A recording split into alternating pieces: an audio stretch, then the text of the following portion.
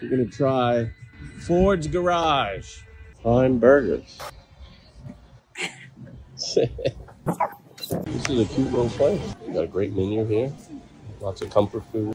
The bumper to bumper buffalo blue cheeseburger is probably what I'm getting. People love anything that is here on a limited time basis or limited edition burger.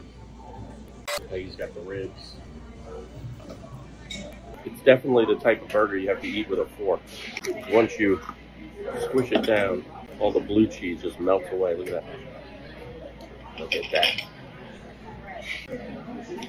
I'm gonna do the raspberry spare tire cheesecake. Uh, donut pieces on top, raspberry cream cheesecake, and graham cracker crust. Oh. Comfy? No, it's not comfy. Form, not function.